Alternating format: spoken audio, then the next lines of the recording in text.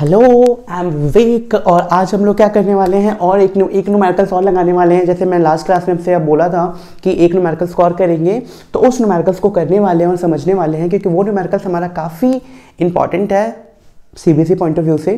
तो उस न्यूमेरिकल को समझते हैं कि बहुत ही अच्छा कंसेप्ट है उस न्यूमेरिकल का। तो उस न्यूमेरिकल को हम देखते हैं कि क्या है उस न्यूमेरिकल में। बोला है आपको कि आपको एक स्क्वायर दे रखा है। ठीक है? आपको एक स्क्वायर दे रखा है और बोला है इसके कॉर्नर्स पे ना चार चार्ज रखे हुए हैं। सबका मैग्नीट्यूड सेम है। सबका मैग्नीट्यूड क्या है? सेम है। आपको बोला है कि आप बताइए, ये इसका नाम दे देते हैं। इसको नाम बोला गया है this is point one this is two this is three this is four one two three four है। बोला गया है find the net force at one क्या निकालना है? Net force net force at point one point one पे आपसे बोला गया है कि नेट फोर्स आप निकालिए। तो चलिए देखते हैं कि वन पॉइंट पे हम नेट फोर्स को कैसे निकालने वाले हैं। तो वही अपनी बेसिक प्रॉपर्टी लगाएँगे, कुछ भी नया नहीं करेंगे। जो हमने सीखा है, उसी को यूज़ करते हुए इस क्वेश्चन को सॉल्व करेंगे।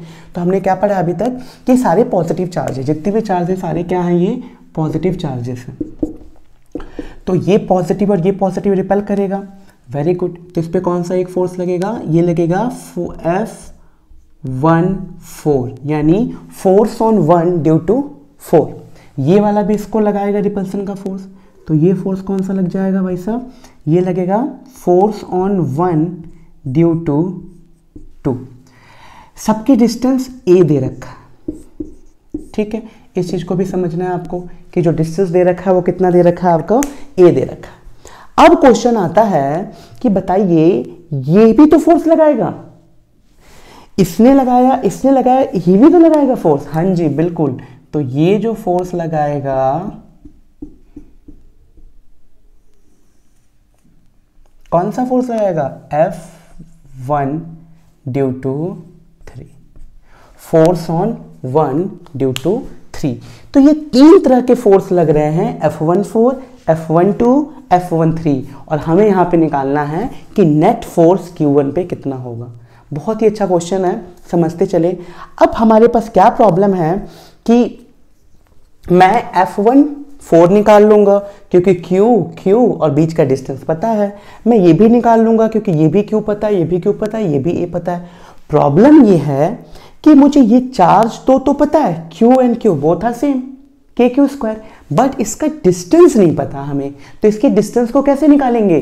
तो इतना तो हम लोग ट्वेल्थ क्लास में आ चुके हैं। इतनी मैथ्स और टिग्नोमेट्री से तो अवेयर हैं कि ये डिस्टेंस को कैसे निकाल सकते हैं। जी हाँ बिल्कुल। तो इस डिस्टेंस को कैसे निकालने जा रहे हैं हम लोग? We know hypo is equal to perpendicular का स्क्वायर प्लस बेस का स्क्वायर ठीक है? तो ये हाइपोटेनस हो गया। तो ये कैसे निकल जाने वाला है बताइए? ये निकलेगा a square a square a square तो ये कितना हो गया? टू ए स्क्वायर तो कितना निकल जाने वाला ये हमारा? रूट टू इंटू ए तो ये मेरा हाइपो निकल गया और भी से ये डिस्टेंस निकल गया। तो ये डिस्टेंस कितना निकल के आ गया? रूट टू ए ठीक है? तो ये एक कहानी थी, इसमें जो हमें समझनी थी कि रूट टू ए को हमने कैसे निकाला है। चलिए आगे क्वेश्चन की तरफ़ बढ़ते हैं। अब हमें नेट फोर्स निकालना है कि नेट फोर्स यहाँ पे कितना होगा। तो यहाँ पे देखिए, अभी तक हमने पढ़ा था कि दो फोर्सेस होते थे तो उसका हम रिजल्टेंट निकाल देते थे। P Q square P square plus Q square plus two P Q cos theta but यहाँ पे केस क्या यहाँ पे तीन फोर्सेस हैं। अब इन तीन फोर्सेस को कैसे निकाला जाए? तो यहाँ पे हम कौन सा रूल लगाने वाले अपना सिंपल सा वही हॉरिजॉन्टल और वर्टिकल तो सबसे पहले मैं हॉरिजॉन्टल फोर्सेस निकालता हूँ कि हॉरिजॉन्टल डायरेक्शन में कितने फोर्स एक्ट कर रहे हैं। तो हॉरिजॉन्टल डायरेक्शन में कितने? एक एफ़ वन फोर है। तो पहले मैं लिख लेता हूँ एफ़ एक्स यानी मैं हॉरिजॉन्टल डायरेक्शन में फोर्स देख रहा हूँ कौन कौन से हैं। तो हॉरिजॉन्टल डायरेक्शन में कौन है? एक एफ़ वन फोर है, आपको साफ़ साफ़ दिख रहा है। तो ये हो जाएगा आपका F one four very good plus और कौन सा फोर्स है? ये है क्या? नहीं। इसका एक कंपोनेंट है। समझ रहे हैं? एफ़ वन थ्री का एक कंपोनेंट है इधर, और एफ़ वन थ्री का एक कंपोनेंट यहाँ है। समझ गए इस चीज़ को? ये चीज़ को पकड़ना है। ठीक है? और ये एंगल कितना होने वाला है? पूरा 90 डिग्री है। तो ये कितना हो जाएगा? दिस इज़ 45 तो क्या बोलेंगे? एफ़ वन थ्री का हॉरिजॉन्टल कंपोनेंट तो कितना हो जाएगा? F one three cos 45 degree ठीक है? सिमिलर वे में हम इसके वर्टिकल कंपोनेंट को लेते हैं।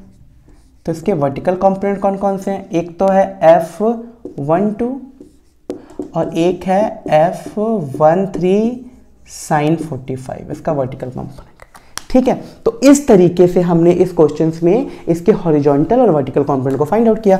अब इसका रिजल्टेंट पूछे कोई तो हमें पता है कि रिजल्टेंट क्या होता है। क्या होता है? एफ़ एक्स का square horizontal plus F Y vertical दोनों का। अब क्या करते हैं? दोनों की वैल्यूज़ को पुट कर देते हैं। तो दोनों की वैल्यू जब पुट करेंगे तो क्या आएगा? एफ़ एक्स तो एफ़ एक्स की जगह हम पुट करेंगे F one four plus F one three cos forty five square plus F Y की वैल्यू कितनी हो जाएगी हमारी? एफ़ वन टू का square plus F one three sorry sine आएगा यहाँ। साइन 45 डिग्री का होल स्क्वायर।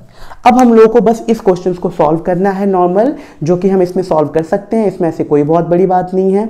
हमें सबकी वैल्यूज़ पता है तो इसको हम इजीली फाइंड आउट कर सकते हैं। ठीक है?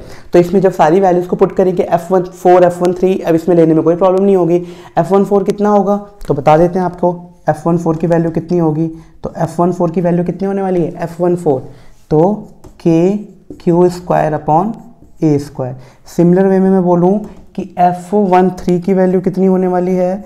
तो K Q square upon distance तो रूट टू ए तो ये हो जाएगा टू ए स्क्वायर समझ रहे हैं? ये डिस्टेंस है तो कितना हो गया? रूट टू तो two a square similar way में और क्या चाहिए हम लोग को? एफ़ वन टू तो एफ़ वन टू कितना होगा?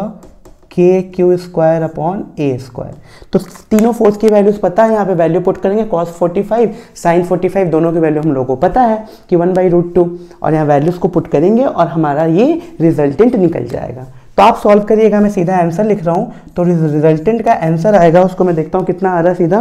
तो वो आ रहा है अंडर रूट टू एफ़ ठीक है? तो इस तरीके से सॉल्व कर सकते हैं, अगर इसको उस फॉर्म में ले आए कि कितना आ रहा है हम लोगों का टोटल ठीक है? तो आप इसको सॉल्व करिएगा, जो भी वैल्यूज़ आ रही हैं, कि पूरे के टर्म की सारी वैल्यू सेम है तो अंडर रूट टू एफ़ ये इसकी वैल्यूज़ आ जाएगी।